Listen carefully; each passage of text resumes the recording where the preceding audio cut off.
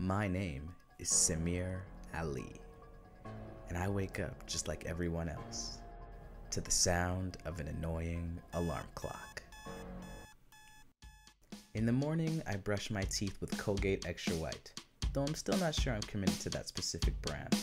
I go to my wardrobe and check out which outfit I want to wear. This shirt looks pretty good. I button it up and get ready to go.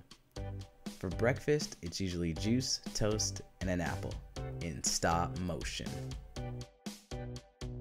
My camera collection is ever growing, and that probably won't stop anytime soon. From white sand beaches to prairie fields, wherever life takes me, I'll be sure to capture the moments, one shot at a time.